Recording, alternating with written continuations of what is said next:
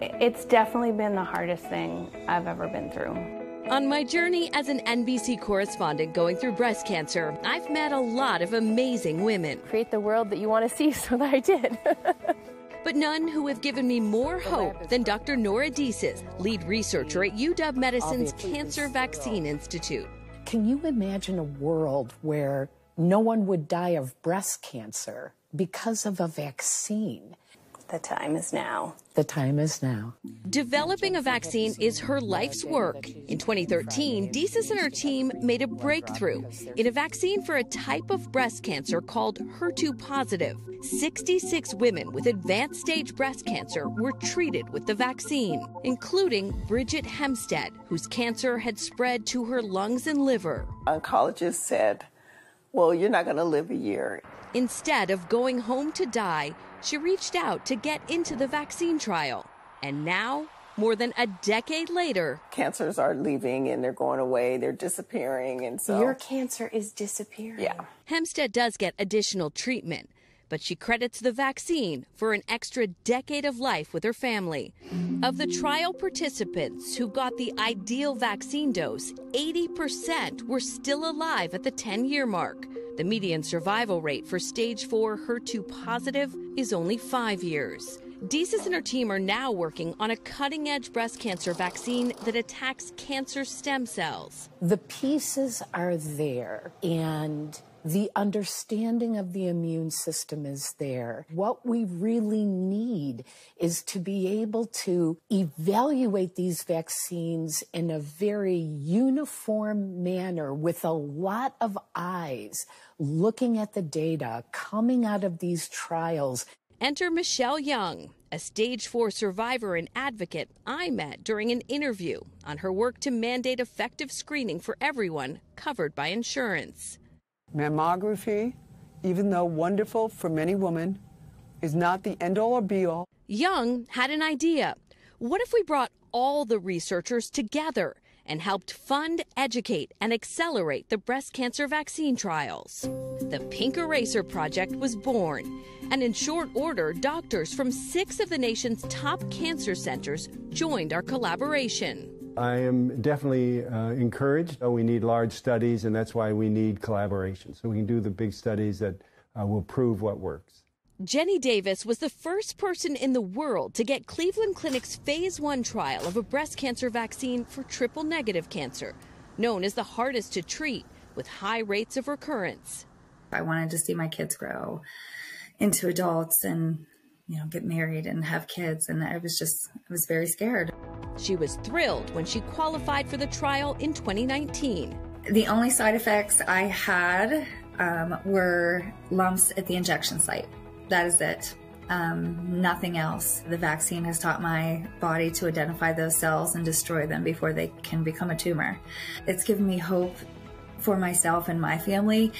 But with the vaccine, the bigger picture is not me the bigger picture is what this could mean for breast cancer and research in general. Like it could change everything. There is a lot of new science that more people are involved in the process. Something that would take 30 years could be done in a five to 10 year period of time. All it takes is awareness, enthusiasm, excitement, and that people know this exists. And that's what I aim to bring. If I've learned anything in 30 years as a journalist, one person really can change the world. But this will go much quicker if everyone joins us. Let's face it, with one in eight American women diagnosed in their lifetime, we all know someone with breast cancer. And that's why I'm starting the Pink Eraser Project with an amazing group of scientists and doctors and survivors. I'm going to be dedicating my life to this.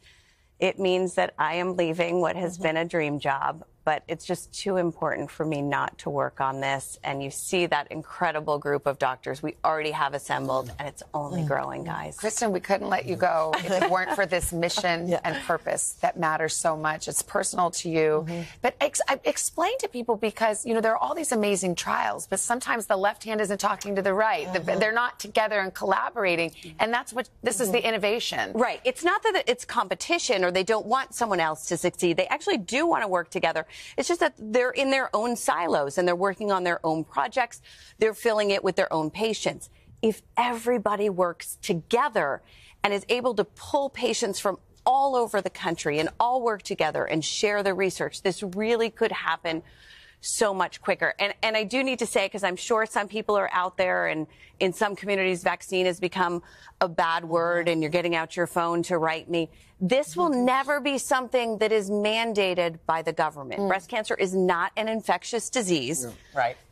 It will be for people who have either had it and want to avoid recurrence or who are at high risk and who choose to do this. By the way, it starts with breast cancer. This research has application to all kinds of cancers Right. potentially. Absolutely. So there already are some other cancers that have vaccines already or are in development, and what they are learning will be able to be applied to other solid tumor cancers.